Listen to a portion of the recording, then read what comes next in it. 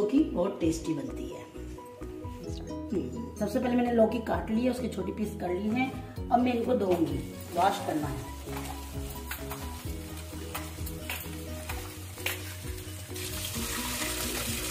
ये आप दो तीन बार पानी में निकाल लो।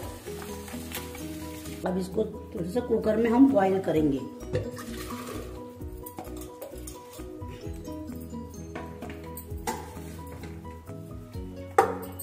वन टीस्पून नमक डालूँगी और इसको बॉईल करेंगे। पाँच छह सीटी लगाएँगे।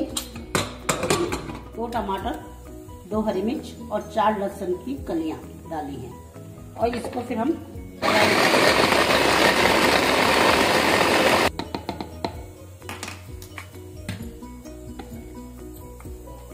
लौकी बॉईल हो गई है।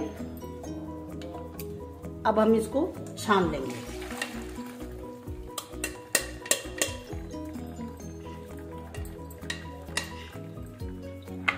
अब इस ठंडा होने देंगे। टू टीस्पून मैंने इसमें तेल डाला है और वो गर्म हो रहा है। ये जो लौकी ना हमने बॉईल की थी, इसको हम ऐसे करके मैश कर देंगे।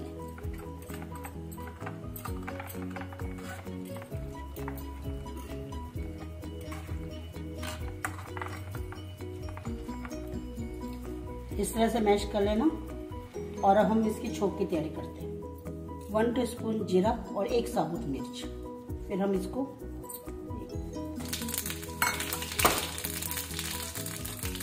उसके बाद हम ये मसाला डालेंगे।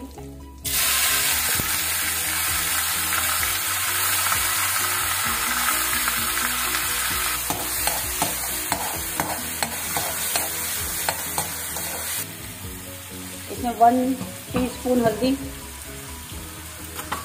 और टू स्पून साबुत धनिया पिसा हुआ धनिया। एक टीस्पून रंग वाली मिर्च फिर हम इसको चला देंगे।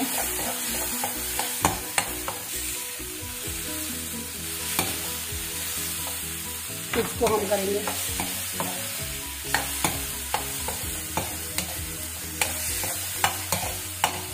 उसमें नमक स्वाद अनुसार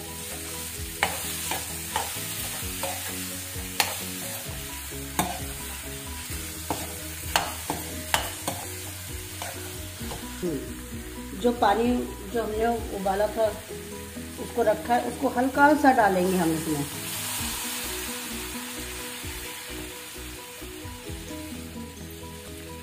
अब इसको थोड़ी देर के लिए हम पकना, ऐसे छोड़ देंगे सिम पे। अब ये तैयार हो चुका है।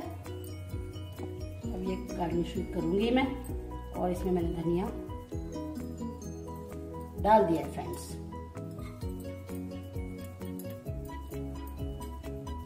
ये रेडी हो चुका है और बहुत टेस्टी बना है। और लाइक करो। Thank you friends